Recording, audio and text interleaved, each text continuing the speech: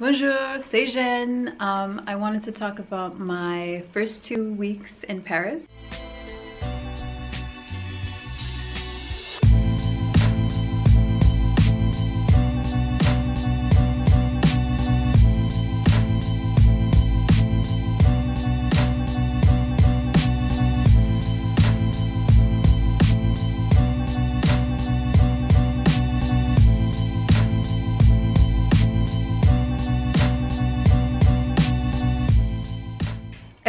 Everything is getting better. I am meeting more people, really, really nice people who just want to help this poor little neurotic American out. Um, I have started school. I started school this week and I also am in the middle of getting my immigration papers kind of settled uh, with OFII. I've had some trouble going to City Hall to see what I would need to prove that I live here, that I have an address, and I just got that kind of DMV attitude of just like, um, it's not my problem, here are these papers, you can look them over and come back. Not this like detailed like, well, this is what you need, um, do you have this? None of that really helpful stuff for someone who, you know, is an immigrant and doesn't really have like a lot of help. And also does not speak the language as well as she should and I feel like that has kind of shaken my confidence a little bit because the first week was amazing but it's gotten so real this week. And you know what? This is a test. This is a test from God to see if I really want to stay here and if I can overcome this. I can overcome anything right? So um, I want to talk about the people for a second I get where the French kind of rude attitude stereotype comes from. But let me just say this. If you come to Paris, if you come to France with the knowledge of the language, with the intention to at least try, you're giving a better impression and you're making an effort and they're gonna see that and they're not gonna be rude to you as they would if you came here with no knowledge, no, no um, research on the country and its politics and its culture and everything, I feel like it it would be the same in America. If you came to America and you didn't speak any English and you're trying to like navigate and I mean in America we're not that friendly to tourists either. So shade may pas shade uh, it is what it is. It's really nice if you learn the language here and, and it's really nice if you speak it and you practice it because I feel like that's communication. That's a, that's a way to connect with someone. And yeah, it, it's nice. It's like a nicer impression, I feel.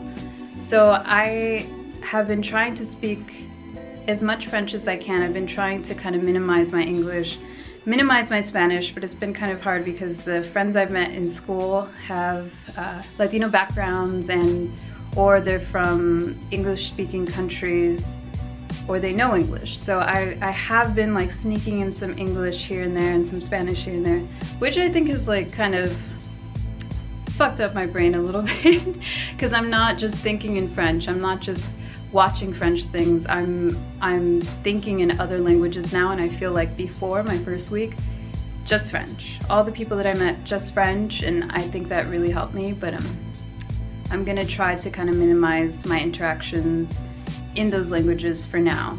I will speak to people, but it will only be in French, and I feel like that will help me.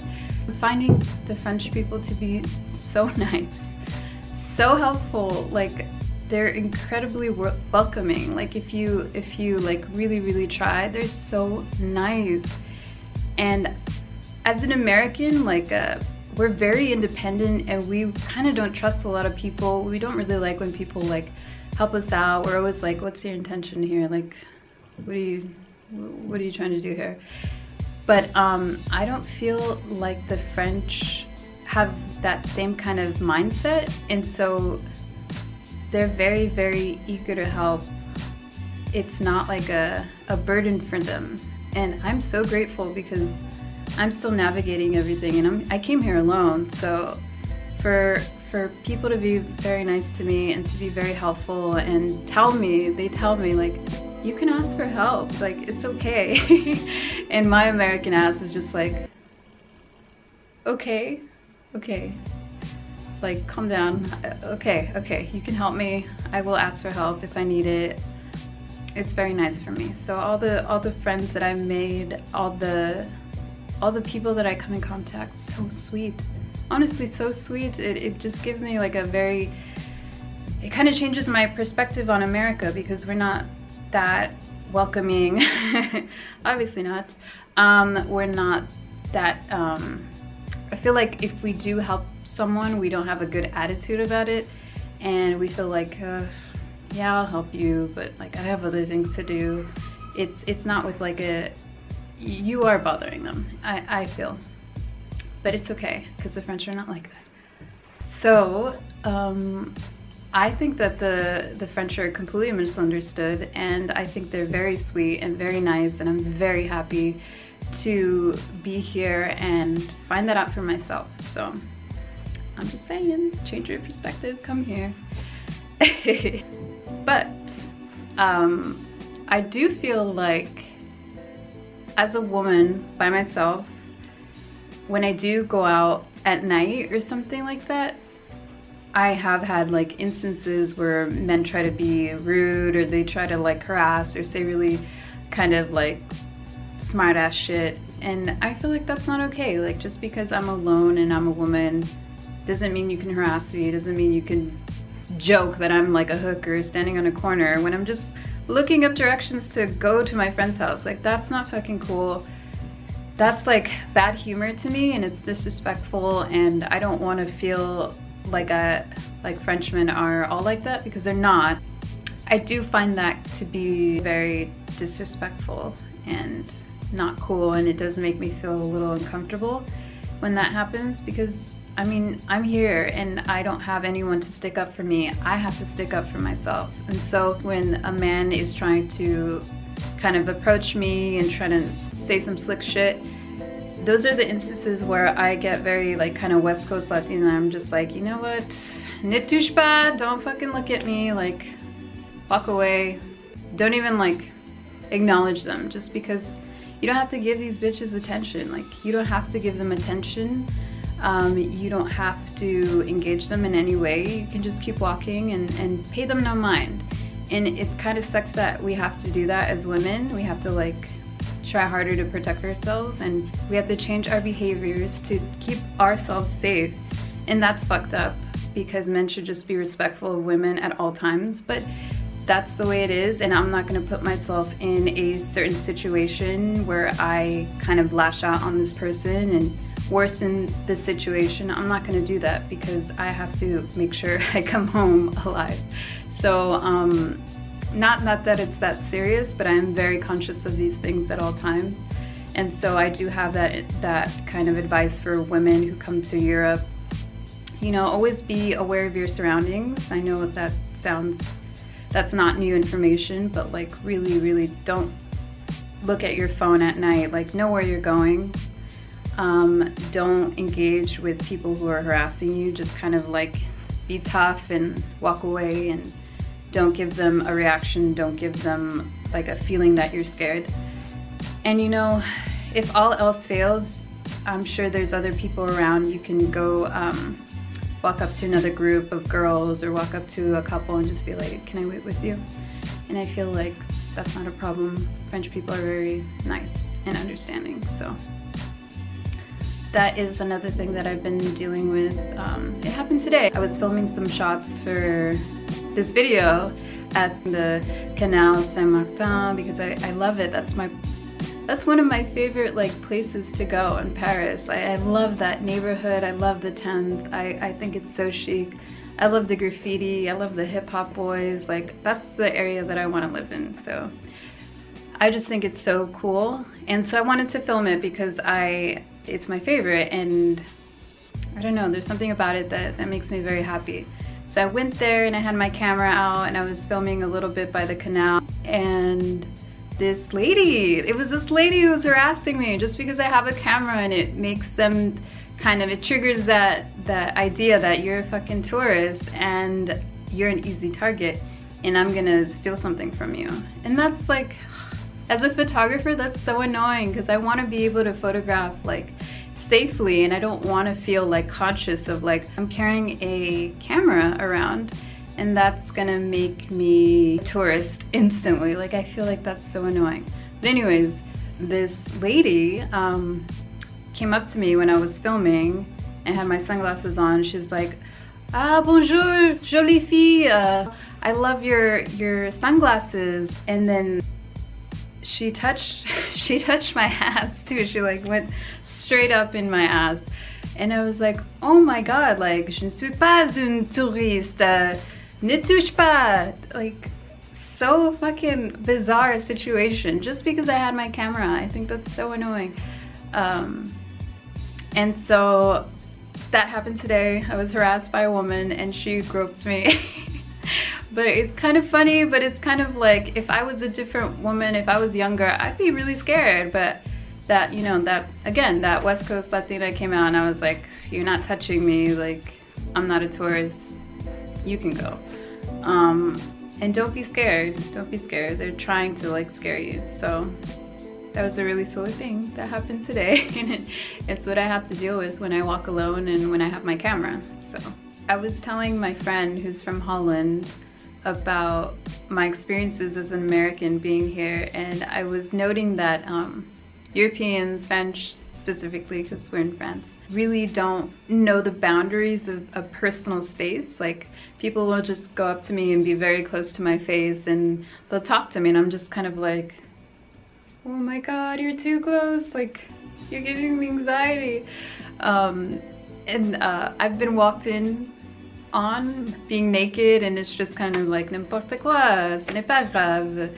Like they don't care, they don't think it's like a big deal and I'm just like, uh, you just saw my ass. Like that's embarrassing. but to them, it's just like, it's not a big deal. And um, they don't knock it, it's okay. And then another thing that, that I noticed, like the lady that I live with, like she'll touch my stuff, like she'll touch my like underwear and my shoes and I'll just be like, like no, you don't do that. Like you don't do that. But to her, it's it's not a big deal. She's just cleaning. Like there's no kind of like thought. And I feel like that's very American. It's just like we're very protective of our stuff. We don't really trust anyone. We don't really want anyone to be like that near to us. And you know, we're very anxious people. We're very neurotic about our things. And a club in Paris called Concrete. And I had my, my credit card, I had my California ID, and I had some cash in my jacket because I didn't want to bring a purse. And my friend was just like, I can hold your jacket so you can dance and you can like be free. And I was just like, no, it's okay. You don't have to touch my jacket. Like, I, it's not a problem. And she's like, no, no, no, no, it's okay. Like, give me your jacket. You can have fun. Like, it's gonna be okay.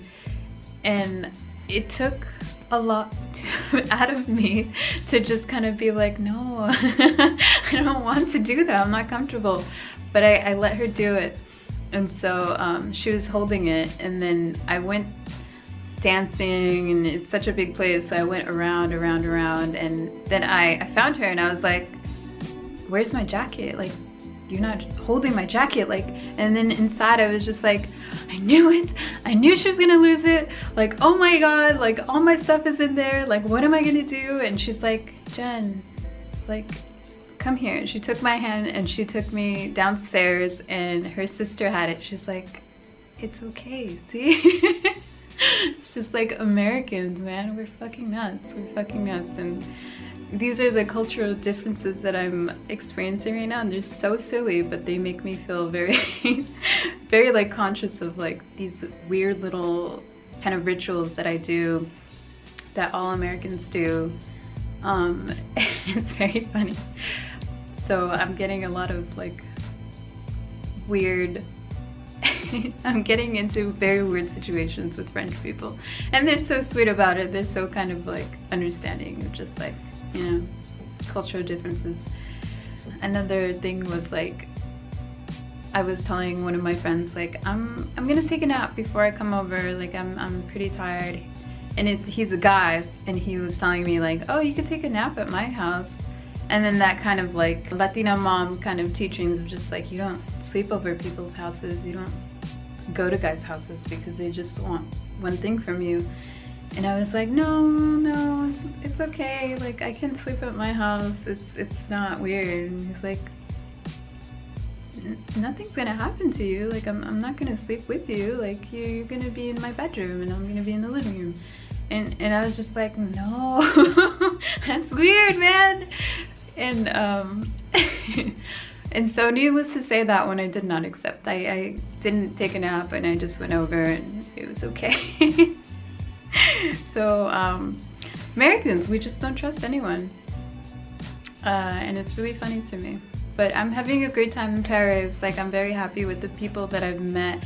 I'm very happy to have the opportunity to learn the language and learn about culture through the people that I'm meeting and you know there's a lot to do there's a lot to see and I, I haven't even covered like a quarter of it so I have a lot to kind of discover about the city. I have a million museums to check out and galleries. And you know I'm still settling in so I'm not kind of concerned with like seeing everything all at once because I have a lot to do in terms of you know staying here responsibilities and priorities. But um I think that it's been really great so far, even if it's not perfect, even if I'm really stressed out, even if I get harassed, it's okay. It's okay, it's not gonna change my impression of Paris.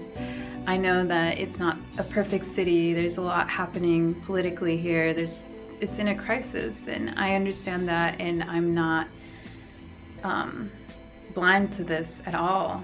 I'm not blind to its problems at all and I'm not going to sit here and pretend like it is la vie en rose. Um, I'm not going to sit here that it's all baguettes and croissants and flowers and daisies and unicorns because it's not. It's a real country with real problems and I'm here to learn about everything that's happening in Europe politically and I'm here to learn about the culture and I'm here to learn everything, everything I can. Like, I love this country. So I think this is good. This is a good fit for now and I'm excited to see what happens next and I hope you will join me. Send me an email if you want to know more about me, if you want to know about what I like to do here. I'm sure that I'll make more videos in the future. Thank you guys so much. Leave me a comment. I'll really appreciate it and I'll see you soon. A bientôt!